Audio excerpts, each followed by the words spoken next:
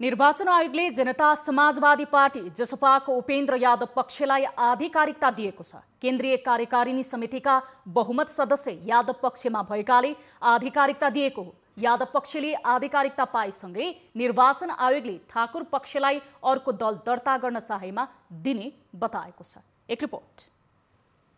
जनता समाजवादी पार्टीभित्रको विवाद निर्वाचन आयोगले किनारा लगाइदिएको छ। जसपाभित्र अध्यक्षद्वय महन्त ठाकुर र उपेन्द्र यादव पक्षबीच लामो समयदेखि विवाद थियो। पार्टीको आधिकारिकता विवादलाई लिएर निर्वाचन आयोगले सङ्ख्या एकिन गर्दै यादवको पक्षमा निर्णय सुनाएको हो।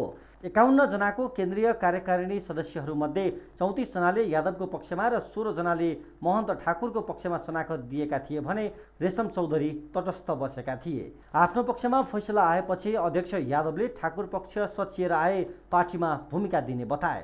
पार्टीमा अनुशासित भएर काम गर्ने सबैका लागि ठाउँ हुन्छ। हामीले चाहिँ कुनै ठुलो ताला लगाएर बन्द गरेर राखेका छैनौँ पार्टी तर उहाँहरूले सोच्ने कुरा हो कि त्यो गलत नीतितर्फ गलत कार्य पार्टी विरोधी क्रियाकलापमा किन गर्नु हो भन्ने कुरा त उहाँले सोच्नु हो। हाम्रो कर्तव्य होइन। हामीले घोघराएर पठाएको होइन। तर ठाकुर पक्षले भने निर्वाचन आयोगको निर्णयले आफूहरू विचलित नहुने प्रतिक्रिया दिएको छ।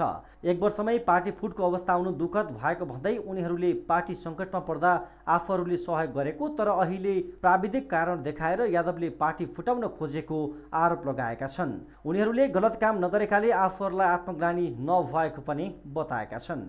पार्टी फुट्दैन के? पार्टी जनताबाट हुने हो जनताबाट निर्माण हुने हो। जनताबाट पार्टी निर्माण हुन्छ र यो देशमा वैकल्पिक शक्ति अभियान जुन हामी लागेका छौँ त्यो वैकल्पिक शक्ति निर्माणमा हामी अगाडि बढ्छौँ र शोषण उत्पीडनको होइन निर्वाचन आयोगको फैसलापछि हामी आगामी निर्णय चाहिँ लिन्छौँ। धन्यवाद। हामीले के भने अहिले मुद्दाकै बारेमा चाहिँ हामी पार्टी एकीकरण गरे हो। अहिले पनि हामी मुद्दा के पक्षमा छौँ हामीले भनेका छौँ। हिजोको सरकारसँग पनि हामीले माग मुद्दाकै हिसाबमा समर्थन गरेका थियौँ। आजको चाहिँ सरकारसँग पनि हामीले माग मुद्दा गरेका छौँ। किनभने हाम्रो लडाइँ राज्यसँग हो जनता समाजवादी पार्टीको विवादमा उपेन्द्र यादव पक्षलाई आधिकारिकता दिएको निर्वाचन आयोगले ठाकुर पक्षलाई छुट्टै दल दर्ता गर्न भने दिने भएको छ।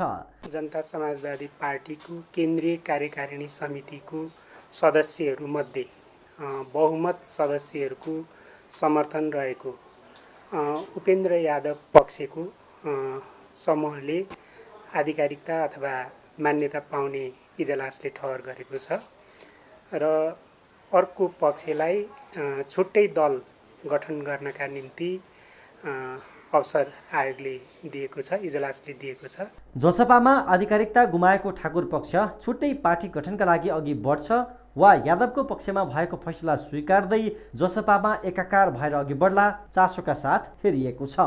न्युज ट्वेन्टी फोर टेलिभिजनका लागि क्यामेरामा सुनिल गुरुङका साथ टिभी जर्नालिस्ट राजन ढकालको रिपोर्ट।